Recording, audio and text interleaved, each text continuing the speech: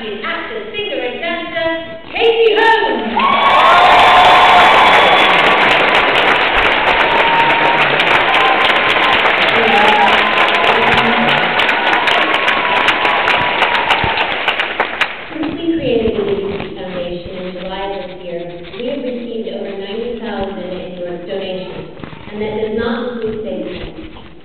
We have spent the majority of those funds on our scholarships for nine students.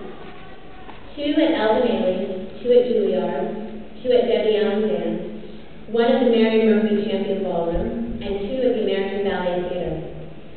The American Ballet Theater, based in New York City, is one of the foremost ballet companies of the 20th century and continues as a leading dance company in the world today.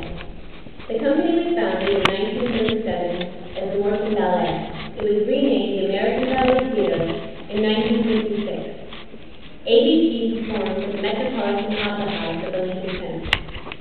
Its Jacqueline Kennedy Onassis School, known as JKO at ABT, teaches the style and techniques specifically used by ABT. We have two recipients of scholarships to JKO. 15-year-old Chauncey Parchman and 16-year-old Sterling Baca from Denver, Colorado. Sterling has just had the honor of dancing for the First Lady, Michelle Obama, at ABT's opening night gala in New York. I delighted to he's with us this afternoon, so please make me feel very welcome here in Los Angeles.